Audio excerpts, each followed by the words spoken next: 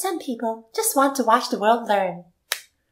If you're watching this video, you're probably one of those. Um, a science communicator, a teacher, a journalist, an educator, or just someone who was inspired by those educational YouTube videos and want to make some of your own.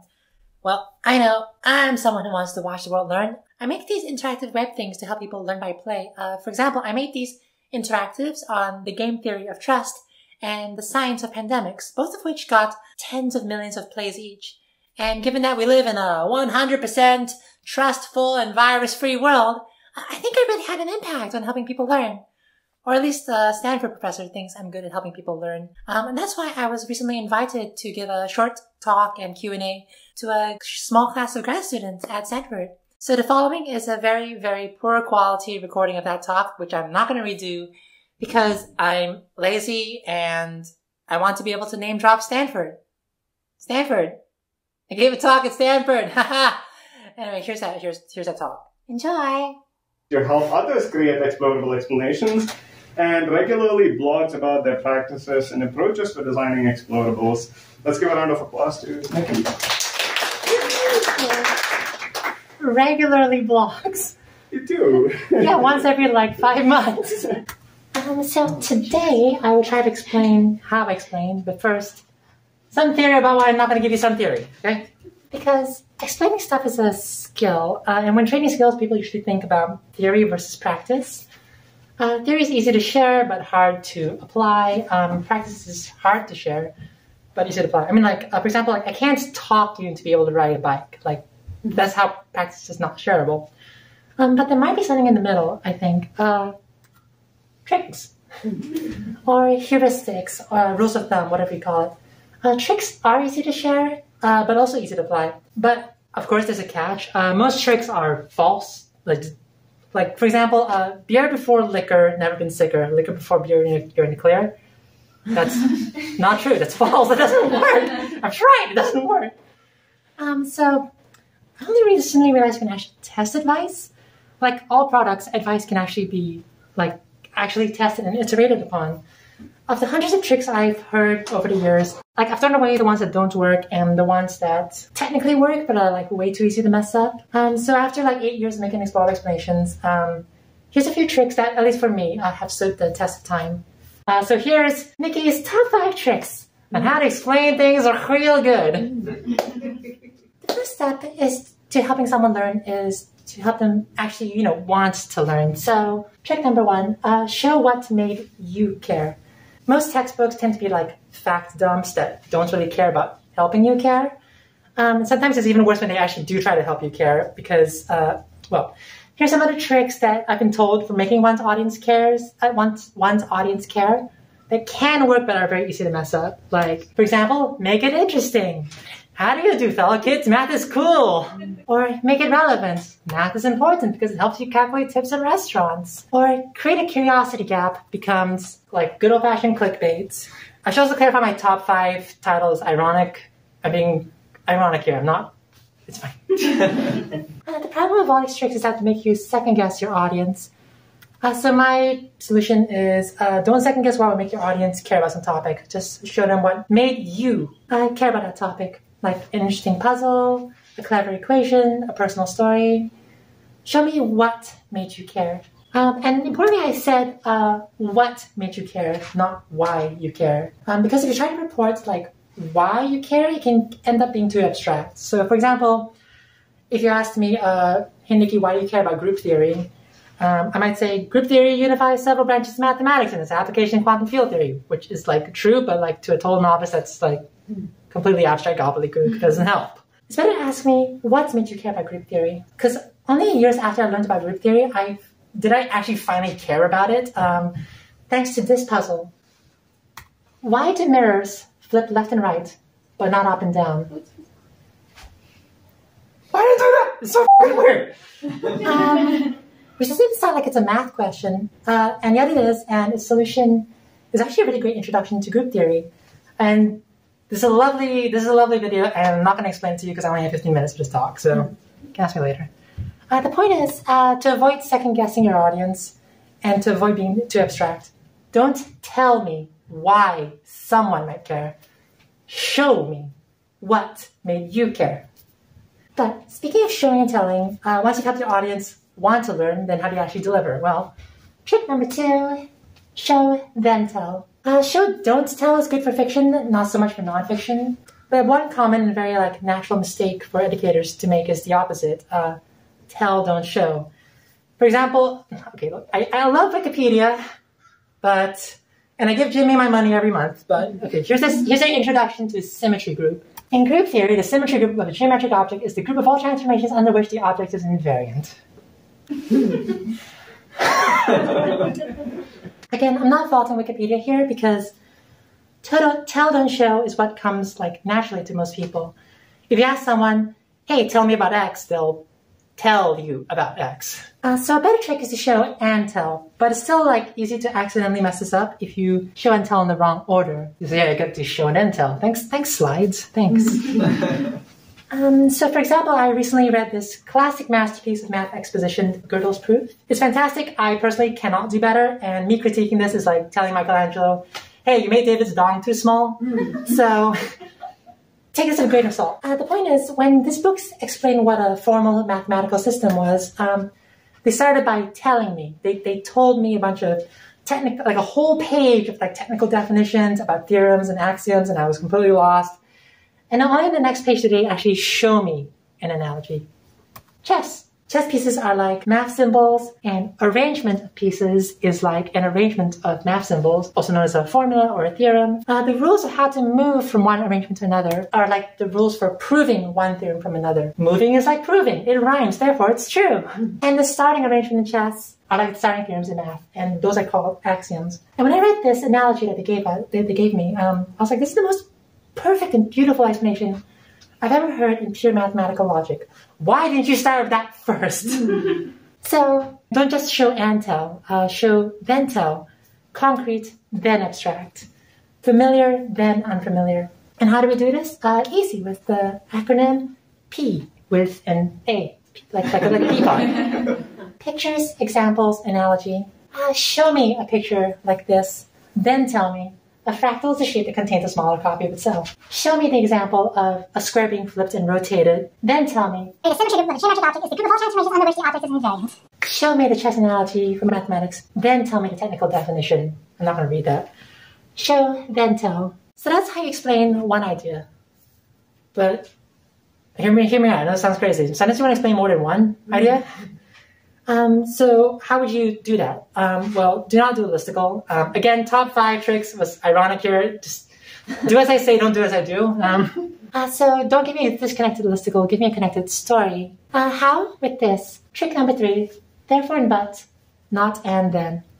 I'll let that very obvious and self-explaining trick explain itself I drink some water. Mm.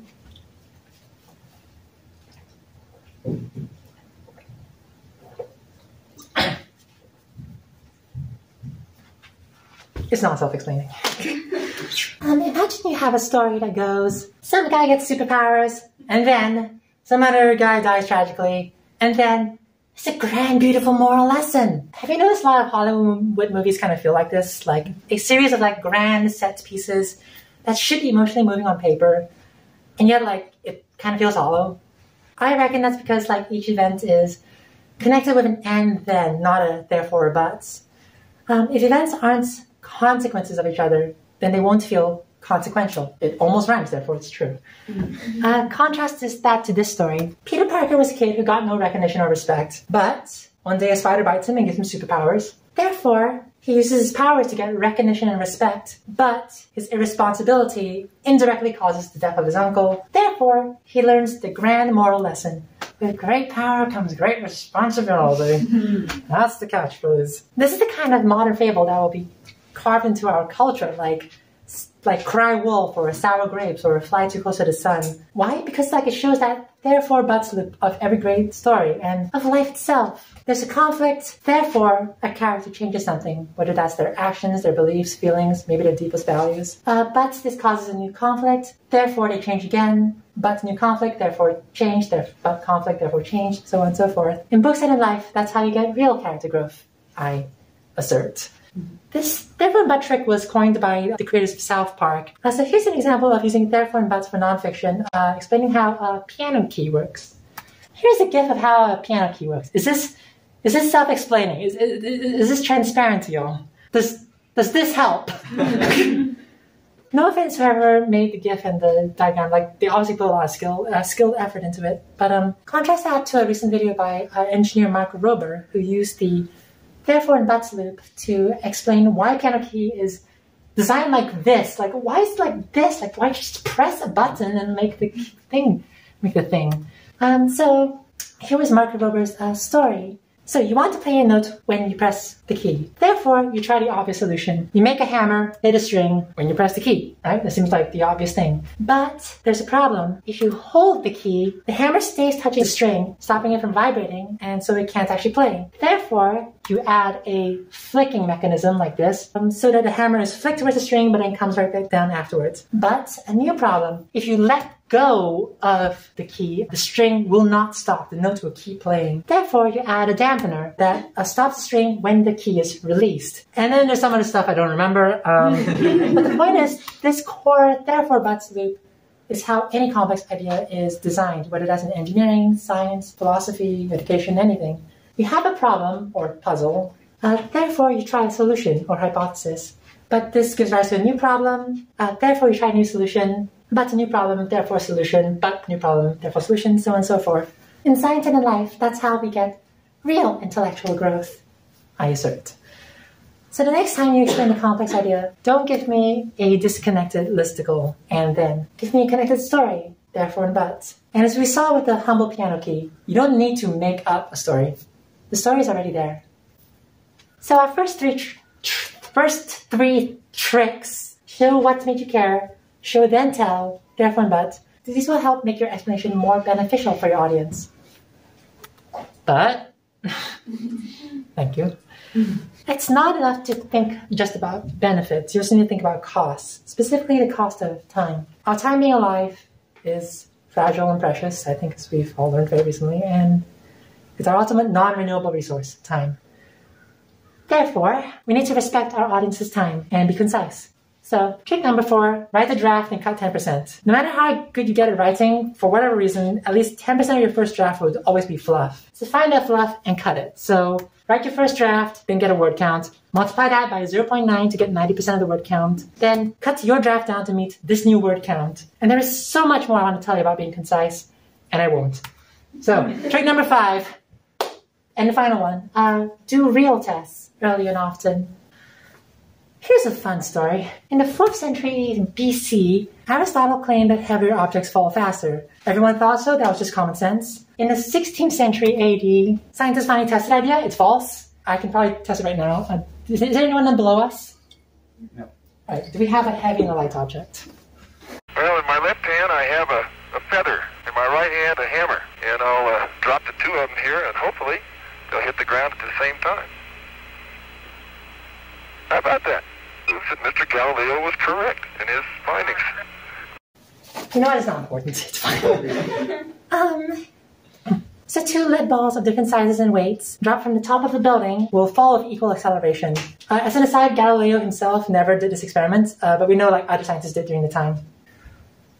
4th century BC, 18th century AD. That's 2,000 years. But it's like super basic thing that you could have discovered by taking like two objects yourself and then dropping them. And it took us 2,000 years. The idea that we should actually test and iterate upon ideas does not come naturally to human beings. Like, it doesn't happen enough in politics, for example. Um, but it's especially hard to test ideas in the creative arts, you know, like making an explainer article or video. Uh, it's because it's hard to put your own creative darlings to a trial by fire. I'll trick number five is still the hardest for me, uh, but I am trying to get better. For a concrete example of what I mean by do real tests early and often, here's a story of how I tested and iterated upon this talk. Yeah, very meta. Wow, so meta. Um, so yeah, a few days ago, I met up with two friends for dinner, and I wanted to test the talk with them. Usually, I only test my explainers like after I've written the first draft and already edited it, which is like which is better than nothing, but that's still kind of late. And I just improvised this entire talk using Sketchbook to draw diagrams and take feedback notes. So that was what I mean by testing early and often. Uh, I went further and told my friends, please heckle me. As soon as something I'm saying is redundant or makes no sense, please interrupt and tell me, heckle me. So that's doing a real test. Ah, oh, thanks, right? So next time you test an explainer, don't just share it for feedback after you edit the first draft. Get feedback when all you have is an outline and a sketchbook, and encourage your friends to heckle you. In science, politics, life, and art, we should do real tests early and often. Because when, when humanity forgets the idea that we should test our ideas, apparently we deceive ourselves for 2,000 years.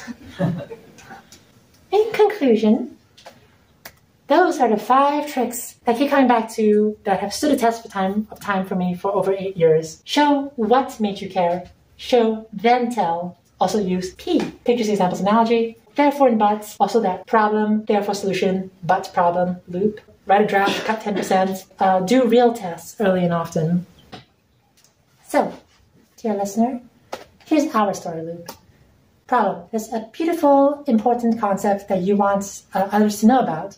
Therefore, solution, you write an outline of an explainer, what made you care, concrete examples, therefore buts, and you improvise a talk with your friends. But your friends like it, but they were bored by some parts and they misinterpreted other parts. Therefore, you take in their feedback, write the first draft, cut 10% of the words, then send it out for more feedback. But your test audience finds more problems, therefore you iterate on it with more solutions, but problems, therefore solutions.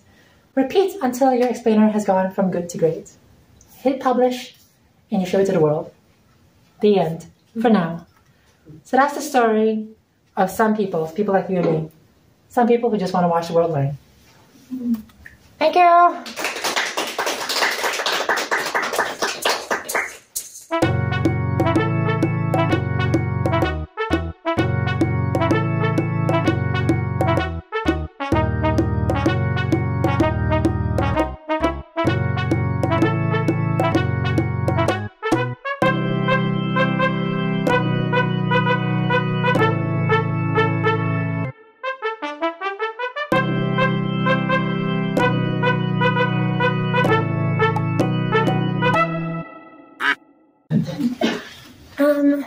Done recording.